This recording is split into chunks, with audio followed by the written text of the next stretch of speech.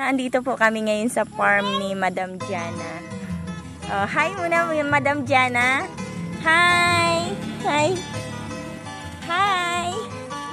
Nasaan po ang ating mga ano, yung, tal, yung ating pakwan. Pakwan po namin namin ngayon ay 16 days. Ayan. Nakikita na po namin. May gaway na. Ah, gaway. Yung, ano nga tawag doon? Talbos? Tama ba ba yun?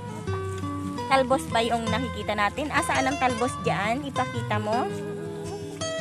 Yan. Yan ang aming pakwan. Bukas-bukas, mag-harvest na si Madam Jana.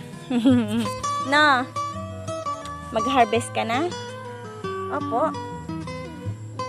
Okay. Let's go.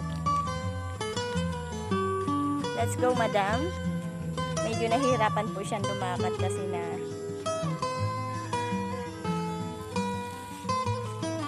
Nasaan po dyan ang mad Madam? Nasaan ang pakwan? Ayun. Medyo kinakain na naman po ng mga hayop-hayop na mga uod, yung. Kasi umulan na naman. Medyo pasaway talaga yan.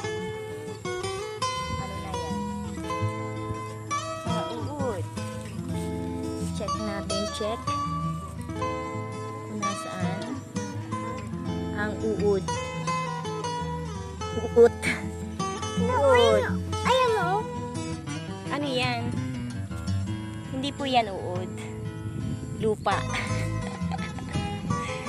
Yan po ay lupa. Dirty po. Halika, huwag mo pong siyang hahawakan dahil medyo may pagkamarumi. Ha? Ang dami. Ano po yan? Iikot po. Oo po. Ang dami. Iikot po si Madam Jana. Saan tayo? Opo. Opo. Si Madam. Dito dati kasi tanim, may tanim kami dito na sili. Tapos, ang nangyari, nawala ang sili na. Nalugi. Lugi. May luya din dito. Tapos doon, sa bandaron, talungan. Tapos doon sa may baka, tanim namin doon ay kalabasa, sitaw. Yun. Dati. Ngayon, ay wala siyang tanim pa. Lilinisin pati papaararo pa ulit namin para taniman namin ng mga gulayin. So ngayon, talong pa lang po ang naitanim namin. Talong. Talong ba't naurong? Ah, talong. Ngayon pa lang ay ano, pakwan ang naitanim namin. 'Di ba, madam? Opo. Sa gabi, siya ay Yan. Ganda. Maganda? Opo. Oops. Ha? Balik na tayo. Medyo malaylay na yung nalakad natin.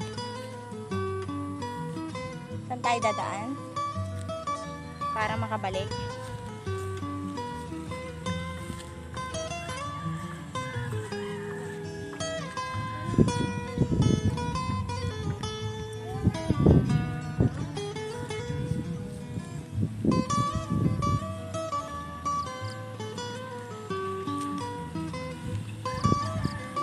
Diretso po. Naduduwag si madam. Ano yan, madam? Tayo.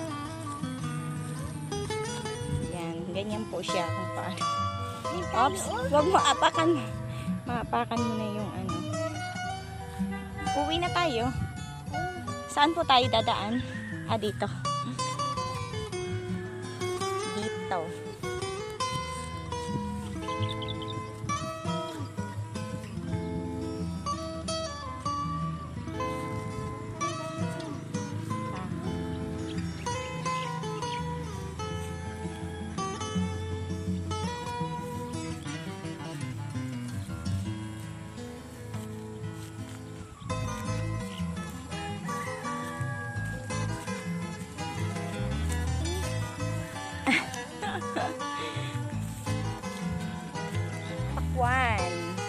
Pakwan, 16 days na yung pakwan namin. So, malapit na talaga.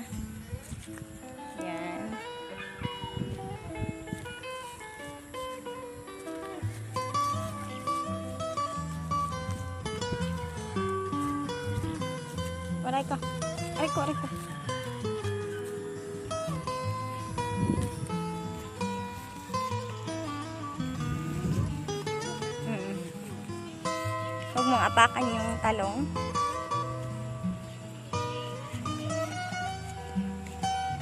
Oops!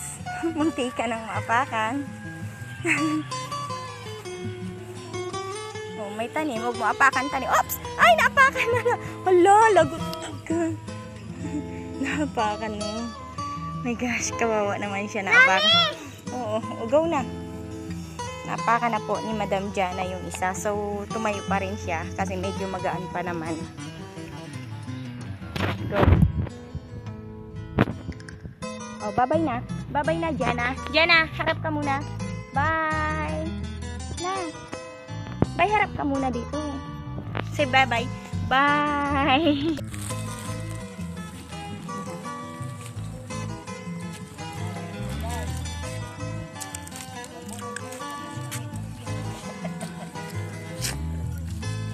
madam yun ha.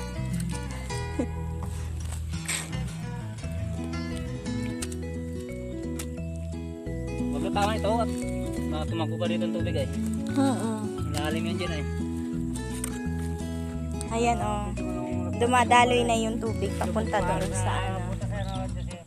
Po? Ah. Wala tiyo. Walang tubig na na. Ah, oo. oo. Eto, met. Napakaganda niya. Ang taas na niya.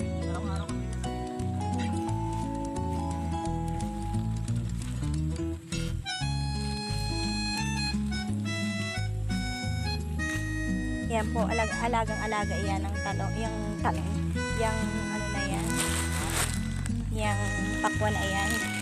Mm. Kinakain ng hayop na kulay orange. Orange pala yung kumakain, tiyo. Orange. Bao-bao.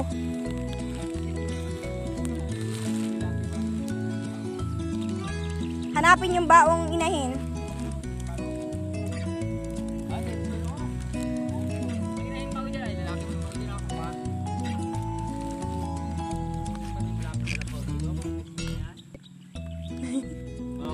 Sino? Yan, konting gamas-gamas sa bawat puno.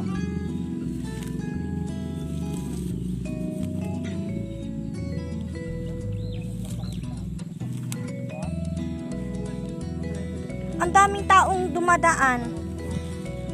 Namimiesta? Oh,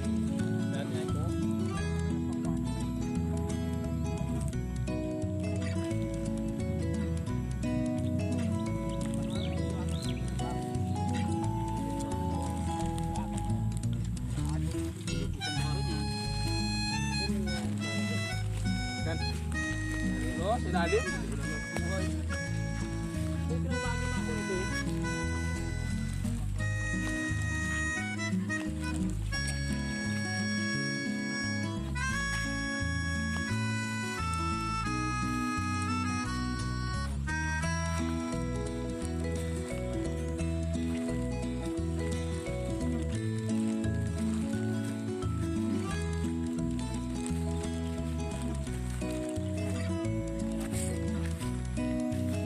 iba, tinatamad pa silang sumibol. yung iba naman excited ng bumunga. Excited ng ano. Yan.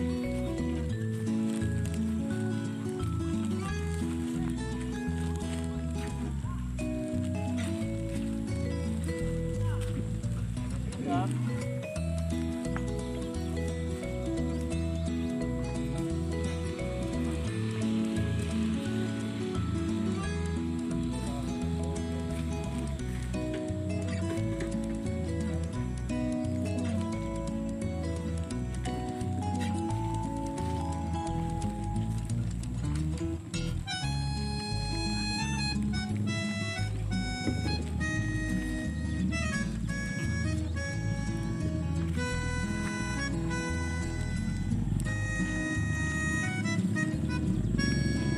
Ay, to may tubig.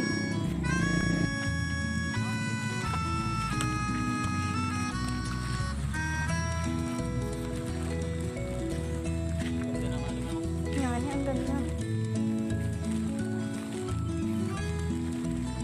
Oh. No? Taba, no?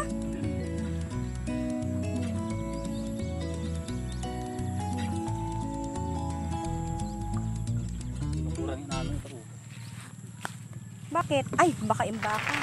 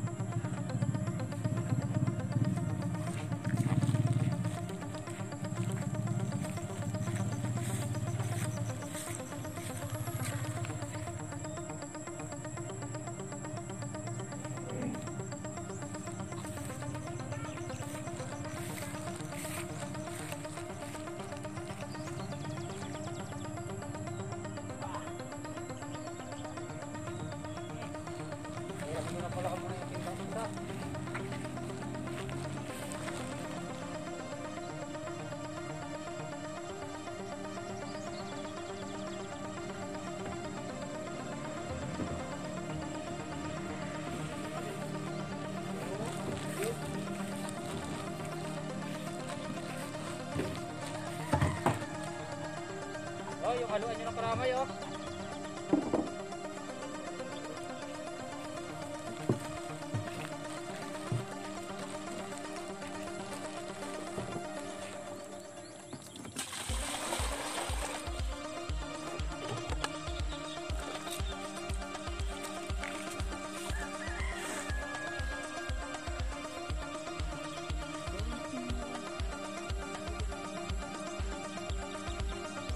Siya, babay na.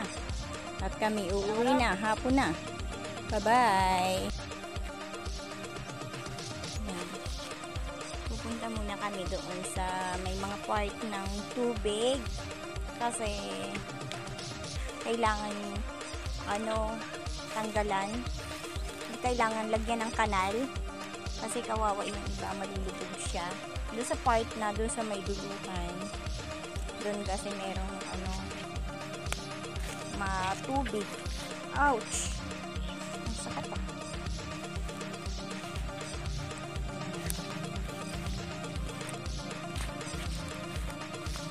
So medyo bisibisihan ngayon sila sa pag ano sa pagkakanal.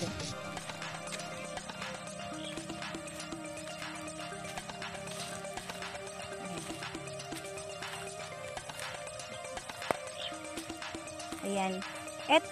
Ito talaga yung pinakandaanan ng tao. Yan. Yun yung sinabi-sabi ko dati noon na bakit merong apat na step.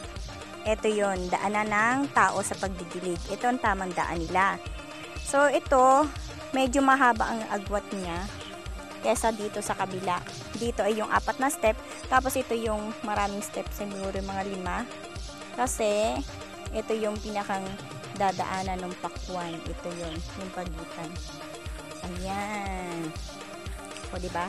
Ito, napakalayo papunta doon. Yan, yung gagapangan nila ng mga pakwan.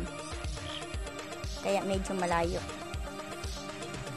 Dito naman, yung pinaka, ito yung sinusundan ko, ito yung daan talaga ng tao. Sa pagdidilig, sa pag-aabuno, sa pag-spray, lahat ng daan, bawat daan, dito dadaan. Ayan ang inasabi nila. Lalagyan nila ng kanal kasi ay ang masasabi ko lang po ay maganda itong naisipan ninyo. At isang magandang ano po ito. Sabi Jojo. Ha? Ayan. Ginawan po namin ng kanal. O, kasama ako talaga. Sa totoo lang po talaga, ako lang ang nagkanal dyan. Joke lang. Adam, salamat sa dyan ha. Yan. Andito na naman kami sa aming pakwanan. Day 18 na po kami ngayon.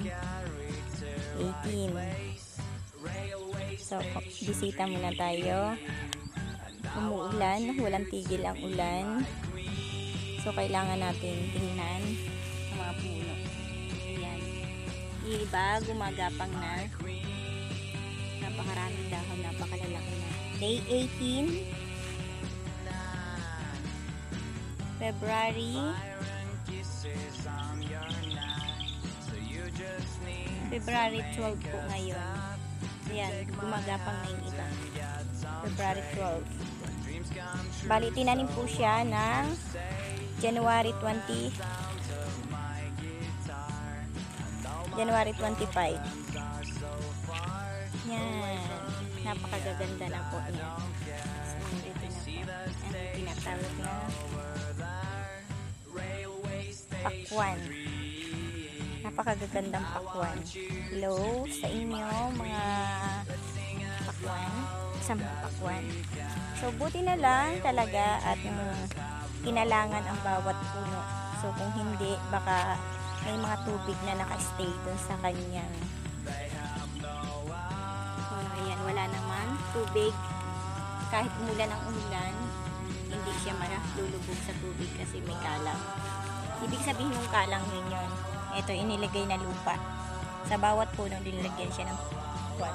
Pero dahil kaya may kalang talaga siya, nung mga maliliit pa siya, nilagyan siya noong kalang ng lupa din para hindi siya matumbang kapag didiligin. So, pabor din siya ngayon na umuulan dahil hindi malulubog ng tubig. Yung tubig wala. Hindi nag-stay ang tubig doon sa puno niya. Ayan.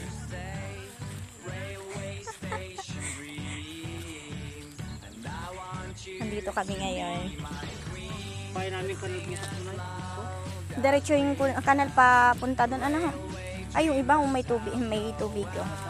Ayan, ito oh. Yan. Katulad niyan, medyo malalim. So, may tubig. Ayan. Yung iba lumubog. Basta huwag na maabot ng talbos. Ah, talbos ang ano ho, wag maabot. So yun pala ang wag maabot. Pero mas maganda siguro tiyo kung lagyan, yan, lagyan ng kanal no, para mawala yung tubig niya. So sana bukas medyo uminit ng konti, mawala naman sana yung wish lang namin. Ha? Sana pag nakaburo, spray. Kaya nga, sagana ano ho.